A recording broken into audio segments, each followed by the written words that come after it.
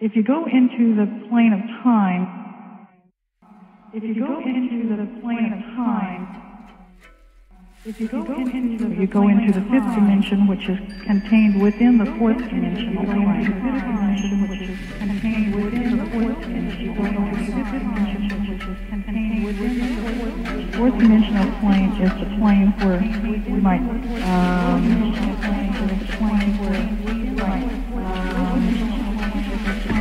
say that the heavenly world.